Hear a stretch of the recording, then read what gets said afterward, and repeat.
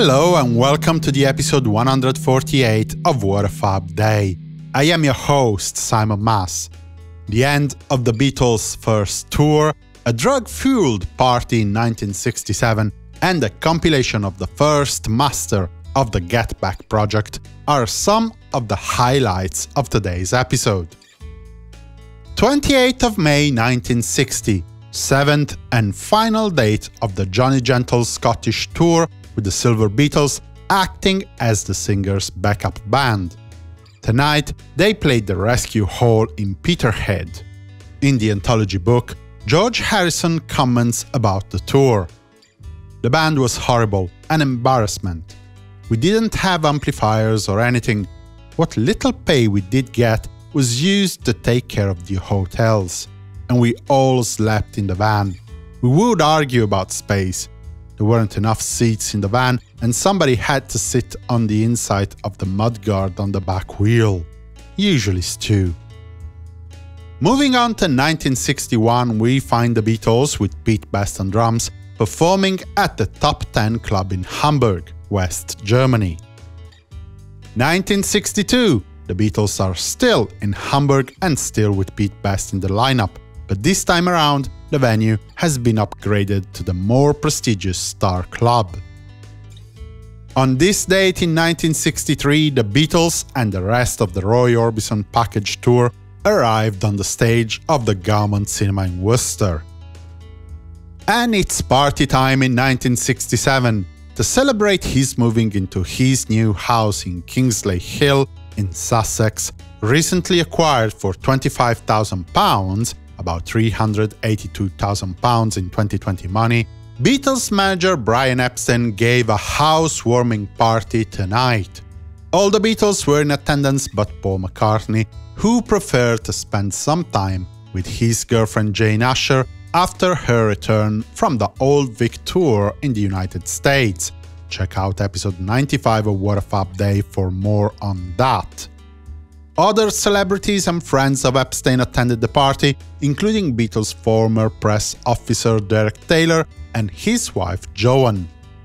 Taylor was now working in California for other rock acts and was putting together the Monterey International Pop Music Festival, and his wife was seven months pregnant, but they chose to fly in to attend. The Taylors were greeted at the airport by George Harrison, John Lennon, Ringo Starr, and Terry Doran and Barry Finch of the design collective The Fools. The group had been busy with a night long of LSD experiments and came dressed in full psychedelic attires. Permed hair, scarves and bells as ornaments, the whole stereotype. John Lennon taught the new way of greeting friends to the Taylors. You hug your friends when you meet them and show them you're glad to see them.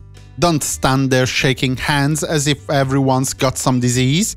Get close to people after stopping by at the Harrisons and the Lennons to get rid of their antiquated clothes and get an attire more in tune with the swinging of the times, the Taylors, plus all the rest of the gang, went to the party, riding in three cars.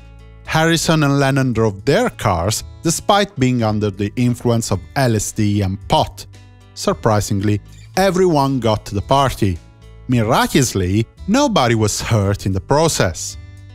At the party, the Taylors found Epstein, much more relaxed than usual, DJ Kenny Everett, composer Lionel Bart, Beatles friend from Hamburg Klaus Voormann, and many other guests.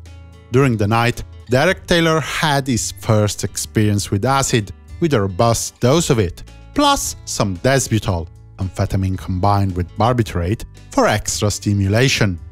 Unsurprisingly, he experienced nightmarish visions about the future, but he was ultimately calmed down by George Harrison. Cynthia Lennon, instead, was less fortunate. Left alone by John, also on a somewhat bad trip himself, she ended up contemplating suicide alone in a room through similar disturbing visions and thoughts. Frankly, I'm surprised I could remember enough to tell the tale. Needless to say, especially since this is a family podcast after all, I invite you to abstain from drugs. And if you must take them for some daft reason, at least do them with a bit of brains, without mixing things at random to see what happens.